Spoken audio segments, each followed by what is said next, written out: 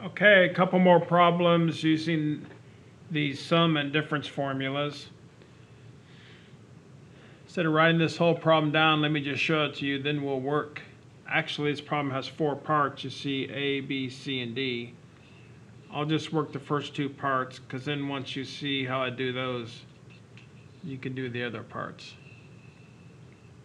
So hopefully you can read this. It says, if the sine theta equals 3 eighths, and theta is in quadrant 2, find the exact value of, and then A, they ask for the cosine of theta, B, they ask for the sine of theta plus pi over 6, then the cosine of theta minus pi over 3, and the tangent of theta plus pi over 4. So you notice, for instance, in a few minutes when we do part B, they're saying take the sine of this angle theta, and add another angle to it. So this is really the sum of two angles, theta plus pi over 6. We don't actually know what angle theta is.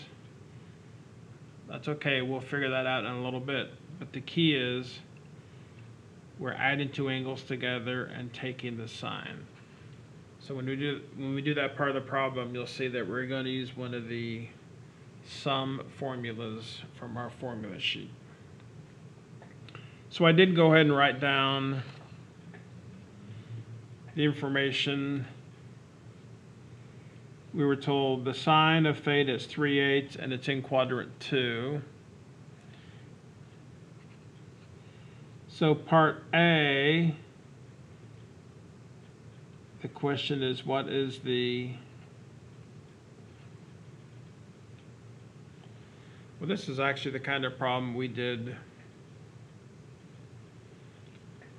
a while ago. What I like to do is I'm going to take this initial trig function, I'm going to go create a right triangle based upon this information. And then once I do that, I should be able to figure out the cosine. So here's my, I'm going to build a right triangle that represents the angle theta. So since the sine is 3 8 sine is so kato is so opposite over hypotenuse, right? Pythagorean formula allows me to get the length of this bottom side. You take the hypotenuse squared minus this side squared.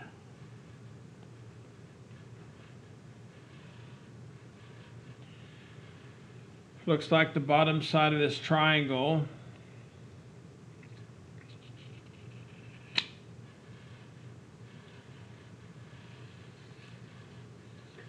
let me write up here, sorry, don't forget quadrant two.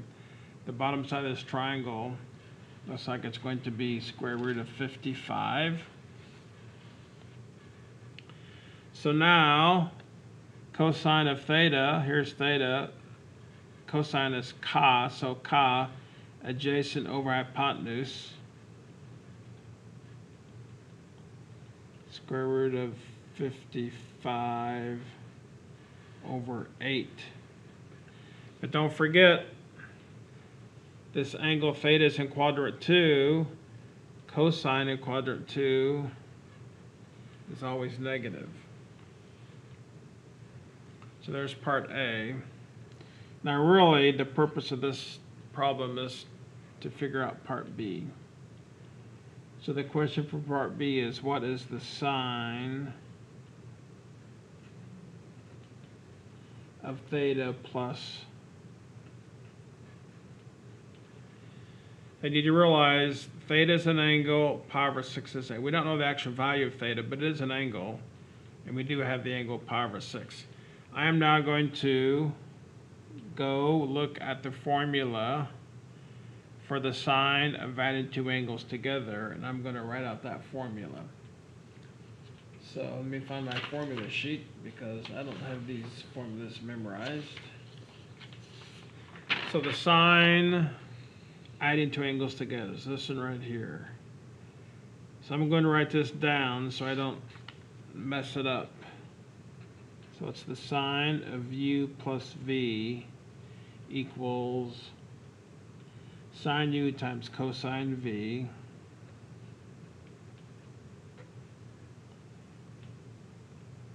plus cosine u times sine v. Now for us, we'll call u theta and we'll call v pi over 6. So by using this formula, the sine of theta plus pi over 6 is going to be sine of u, which is sine of theta, times cosine of v, cosine of pi over 6, plus cosine of u,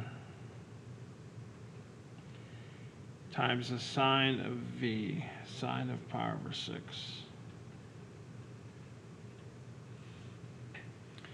Now if you look at this, I know the cosine of pi over 6 and the sine of pi over 6, those are special angles. But what about sine of theta, cosine of theta? Well, that's why I created this right triangle. This right, right triangle represents the angle theta. So if I need sine of theta, actually sine of theta was given in the original problem where I could have gone to, the, to this triangle. And then I also need cosine of theta, which I can get from the triangle. Or actually, that was the first part of the problem. So whatever you want to do, sine of theta is 3 eighths times the cosine of pi over 6, which is square root of 3 over 2.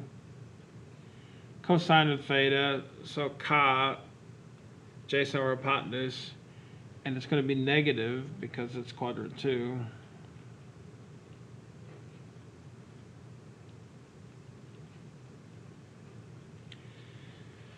Negative square root of 55 over 8 times sine of pi over 6, which is just 1 half. So now, they may want me to combine this into one fraction. So this is 3 square root of 3 over 16, then minus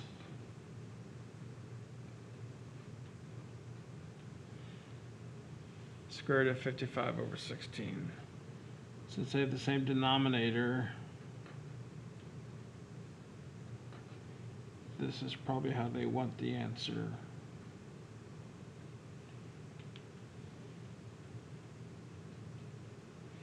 And thankfully that is correct, just to make sure. So then for the rest of these problems, you would simply go use the other formulas. So in, in other words, for part C, cosine of theta minus pi over 3. So the cosine of the difference. So you go to your formula sheet, you look at the cosine of when you're subtracting, and you write it out, plug in the correct things for u and v, and you're on your way. And the same thing with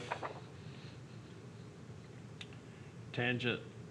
This one's going to be a little messier because tangent ends up being a fraction, but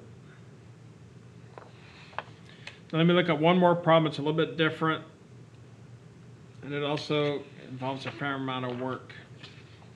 It's this one right here. Similar to what we just did, but a little bit different. So here they say, find the exact values of each of the following given the conditions. So they say here's tangent of alpha. So here's an angle alpha. Tangent of alpha is negative 12 over 5. And alpha is between pi over 2 and pi. That tells you that the angle alpha is in the second quadrant. Because alpha is larger than pi over 2 but less than pi. So it's Q2. Then here's a second angle, beta, and they say the sine of beta is 1 half. And they say that beta is between 0 and pi over 2, which means just quadrant 1. And then here's what they ask for. They ask for four trig functions where you're either adding or subtracting these two angles. So what I'm going to do is I'm going to use my in this case, we'll start with um, part A. And I'm going to start with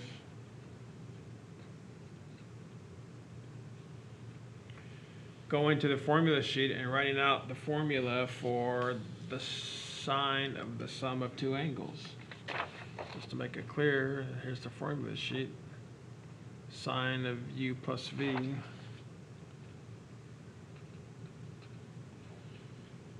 So it's sine u times cosine v plus cosine u times sine v, where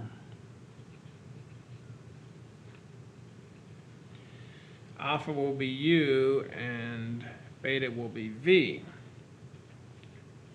Now here's where we have to go back now and take all this information they've given us about these angles. What I'm going to do is, I've been given a trig function for angle alpha. I'm going to take that information and create a right triangle.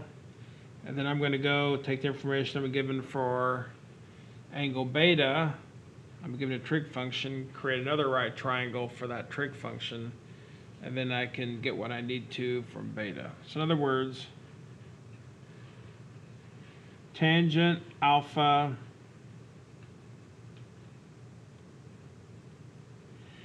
negative 12 over 5 and we know it's in quadrant 2 so I'm going to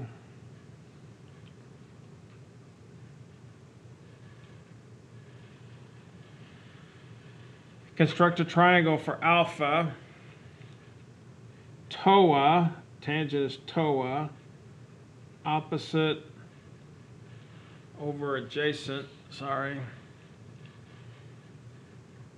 hypotenuse from Pythagorean formulas 144 12 squared plus 5 squared square root of 169 which is actually 13 so you'll see in a minute how I'm going to use this. I'm going to do the same thing now for the information they've given us about beta. They say the sine of beta equals 1 half and it's in quadrant 1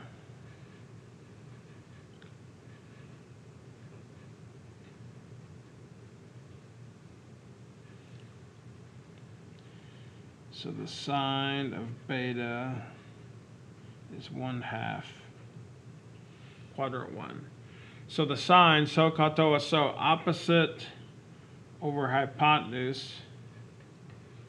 And down here is going to be 4 minus 1 square root of 3. So now I've got two triangles, one that represents alpha, one that represents beta. And now I should have done it here. Every place I have a U, I'm going to put in alpha and a V put in beta. So sine of alpha plus beta is really sine of alpha times cosine of beta plus cosine of alpha times sine of beta. So if I take that and now start plugging, so sine of alpha, I go to my alpha triangle and I say, what's the sine of alpha? Well, sine is opposite over hypotenuse. So sine of alpha times, oh, let's check. It's in quadrant two, sine's positive, okay. Cosine beta, here's my beta triangle cosine beta means so ka adjacent over hypotenuse.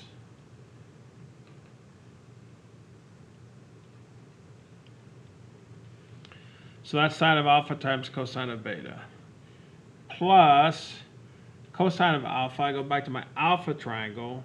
I'm looking at the cosine, so ka adjacent over hypotenuse. But now don't forget, this alpha is in quadrant 2.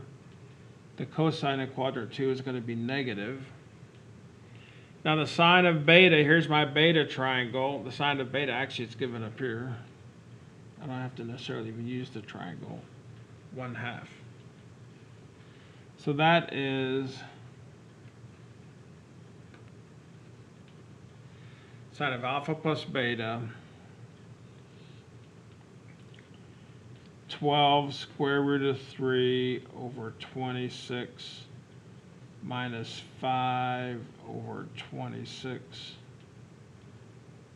Twelve square root of three minus five over twenty-six.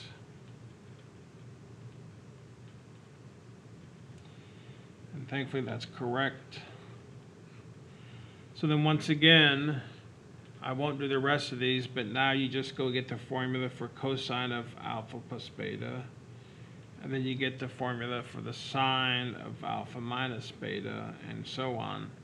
And these are your triangles for alpha and beta to give you what you need.